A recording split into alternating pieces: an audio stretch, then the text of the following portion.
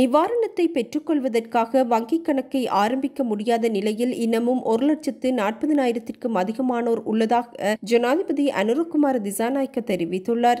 நிவாரணத்தை பெற்றுக்கொள்ள பயனாளர்கள் முதலில் வங்கிக் கணக்கை திறக்க வேண்டும்.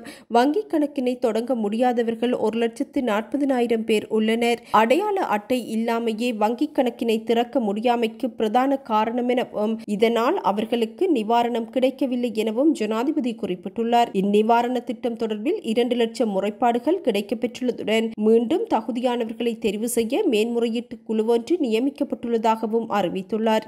இதேவேளை அஸ்வசும கொடுப்பனவை கடந்த காலங்களில் பெற்றுக்கொள்ளாத குடும்பங்கள் அல்லது தனிநபர்கள் இருப்பின் விசாரணை நடத்தி அவர்களுக்குரிய நீதி வழங்கப்படும் என அமைச்சர் விஜித்த ஹேரத் அறிவித்துள்ளார்.